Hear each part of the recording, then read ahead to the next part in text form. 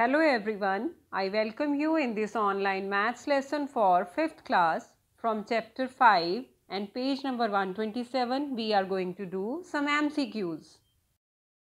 Our first question is what is the standard method of writing rupees 13 and 50 paise? For this we have four options here. We will read the options. Option A rupees 1350 option B rupees 13.50, option C 1350 paise and option D is none. As you all know, we have a sign for Indian currency rupees. This is the sign and it is used to denote Indian rupees. To write rupees and paise collectively, we use decimal and while using decimal, we have to write amount of rupees on left side of the decimal and amount of paise on the right side of the decimal. So here we have to write 13.50. Option B is the correct answer and we will put a tick here. Moving to our next question. Our second question is how many rupee 2 coins are there in rupee 26? And to find the answers we have four options again. The four options are option A is 52, option B is 26, option C is 13 and option D is 20. Here we will use a 2 rupee coin to solve the problem. This is a 2 rupee coin. Now we will see how many 2 rupee coins together make rupees 26. One coin has value equal to rupees 2. We will use such coins to make rupees 26 in total. Let's count the number of coins to make rupees 26 in total. Here we start counting the coins. The value of first coin is rupees 2. And when we keep on adding, we will find the total amount equal to rupees 26. 2 plus 2 becomes 4 plus 2 is 6, 8 10 and now 12.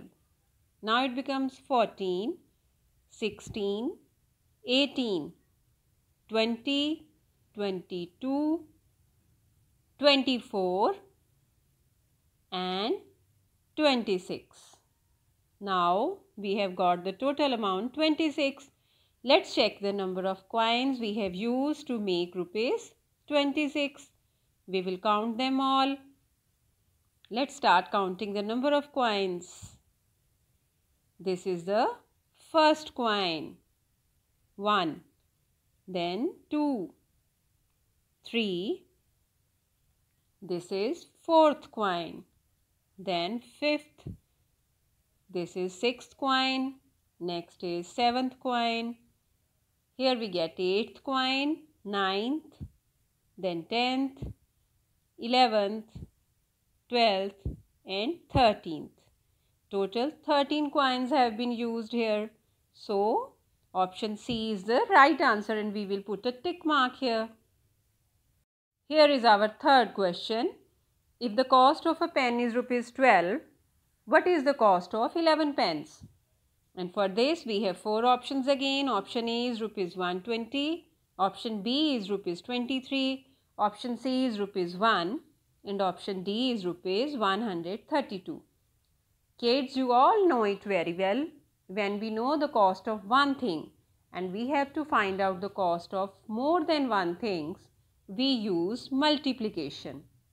Here, we will multiply the cost of one pen with the number of pens we have to buy. Rupees 12 multiplied by 11. Yes, when we will multiply 12 and 11, our answer will be equal to rupees 132. Yes, option D, rupees 132 is the correct option and we will put a tick here. Here is our fourth question. This is again an MCQ to solve.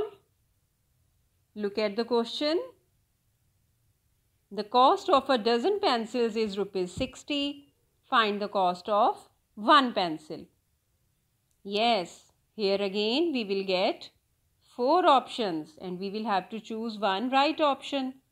Option A is rupees 12, option B is rupees 5, option C is rupees 60 and option D is rupees 30. First thing, 1 dozen is equal to 12. Here, cost of 12 things is given. And when we know the cost of more than one things and we have to find the cost of one thing, that means we have to divide there. Yes, here we will do division. We will divide the cost of 12 pencils by the number of pencils 60 divided by 12 and when we will divide 60 by 12 our answer will be 5. 60 divided by 12 is 5. Cost of one pencil is rupees 5. So option B rupees 5 is the correct answer. Put a tick here.